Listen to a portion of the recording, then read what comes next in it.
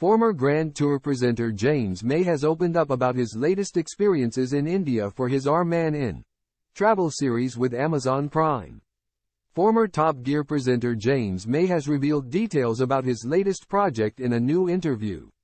His comments about the intense experience come after the car enthusiast is said to have exited the Grand Tour. Late last month, it was revealed that James, 60, and co-hosts Jeremy Clarkson and Richard Hammond would no longer host the Amazon Prime Video show. The news came after the trio recently returned from filming in Zimbabwe for a Grand Tour special. Jeremy, 63, broke his silence on the matter via Instagram and told his 7 million followers, Been a busy day. No more Grand Tour after next year but a lot more Clarkson's Farm.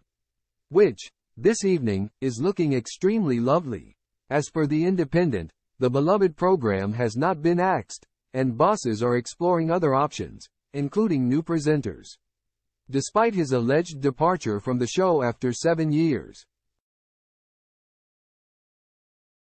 James is expected back on the small screen very soon. In a new interview, the presenter has spoken at length about his latest project, a new installment of his travel documentary series, James May, Our Man In. After previously visiting Japan and Italy, Season 3 will chronicle the star's movements in India. Discussing his experience in the country, James said, The experience is intense, admittedly. It's noisy and crowded and hot, and it's certainly harder work than going to Florence. He added to the Radio Times. But if you relax and don't bring your European sensitivities to it, it's a great country. Elsewhere in the interview, the documentary maker claimed that the country was remarkable. He added that it's quite a loose society, and that everyone should visit at least once. James also explained that his favorite place on the tour to visit was Sundarbans. The latter is one of the largest forests in the world and is the known home of the Royal Bengal tiger. He also added that Sundarbans is where Mahatma Gandhi claimed the soul of India resided. The ex-BBC star's latest interview comes just weeks after it was revealed Top Gear was being rested.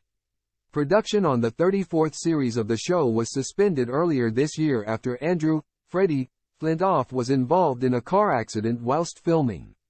In a statement, the broadcaster said, Given the exceptional circumstances, the BBC has decided to rest the UK show for the foreseeable future. The BBC remains committed to Freddie, Chris and Paddy who have been at the heart of the show's renaissance since 2019, and we're excited about new projects being developed with each of them. James was an integral part of Top Gear from 2003 until 2015, along with Jeremy and Richard, 51. Following the Clarkson's Farm star's dismissal from the BBC show, James declined to renew his contract and also exited.